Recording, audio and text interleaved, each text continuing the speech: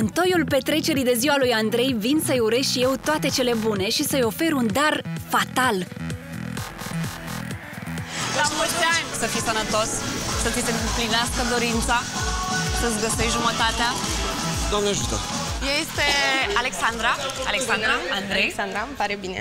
La mulți Pare ani. bine, Andrei? Când l-am privit prima oară în ochi, am simțit uh, așa zis și fluturaș în stomac. Ce credeți că s-a întâmplat? Vine dintr-o dată Gianina. Însă nu era singură. Era însoțită de o fată înaltă, frumoasă. Alexandra s-a înscris la gospodar fără pereche și și-a dorit foarte mult să te cunoască. Nu a putut ajunge la speed dating și uh, iată aici. Te-ai emoționat? Puțin. e un pic cam impunătoare. Este foarte frumoasă.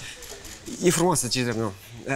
Eu ți-am zis că sunt emotiv în uh, fața fetelor frumoase. Pe mine m-a bucurat că a venit Gianina, dar problema a fost că Gianina n-a venit singură. Gianina a mai adus, hop, încă o concurentă. Tu ești conștient că ești singurul gospodar care va sta lângă patru fete în fermă? Mai, nu știu cum să zic, adică... Nu te bucuri? Ba da, dar să zic că eu am fost mai norocos că a fost ziua mea, știi? Adică, nu știu, să o consider drept cadou. Toate bune și frumoase pentru el. Am fost uh, foarte emoționată pentru că nu știam în primul rând cum reacționează și în al doilea rând pentru că îmi doream de mult timp să-l cunosc. Uh, Am o, o mică um, problemă că nu știu dacă e de la tocuri sau... tu ești foarte înaltă. Păi hai să facem o probă, să vedem uh, care este înălțimea ei naturală. Dacă ați adus de sau mai căprița, descălțați-o să vedem cât e de înaltă și fără tocuri. Cred că pur și simplu am fost uh, ușor confuză și puțin, poate, enervată de situație. Mai, mai aduceți-mi o scăriță, ceva, că sigur, sigur mă face. Ce caută și asta aici? Nu e bine. Nu e bine?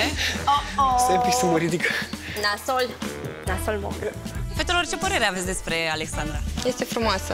Mulțumesc, asemenea. Pe mine mă sperie, e frumoasă, dar nu con- consider concurență. De ce te-ar speria?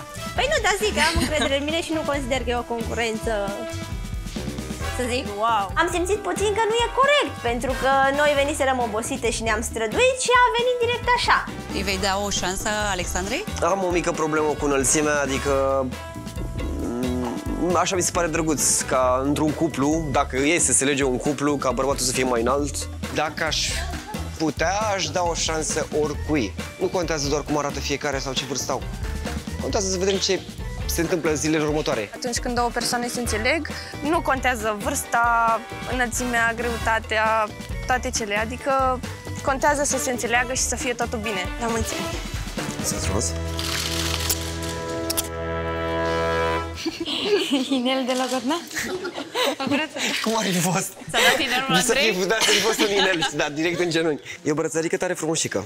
Pe bune. A venit și ea, așa, ca ce? Cu siguranță își dorește același lucru ca și noi, să-i cucerim inima lui Andrei. Da, îmi doresc o relație de lungă durată și, de ce nu, la momentul potrivit, chiar și o familie. Am emoții. Ai emoții? Puțin. Prea timidă pentru mine, adică nu știu dacă o să reușim să ne apropiem vreodată cu timiditatea asta ei.